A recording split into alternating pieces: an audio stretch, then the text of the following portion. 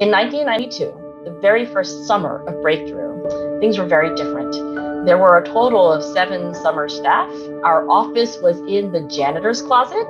But I want to say one thing that hasn't changed, and that's the spirit of breakthrough. We knew we could do it. We knew we were doing the right thing, and we knew we were having the time of our lives.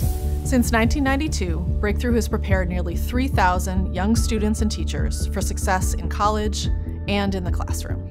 Through hands on experience, we are building the next generation of diverse educators and leaders. I'm still involved in Breakthrough because there remains work to be done.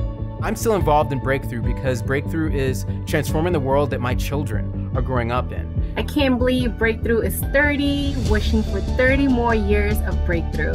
Happy 30th Breakthrough. Congratulations, Breakthrough. Happy 30th Breakthrough. Happy 30th birthday, Breakthrough.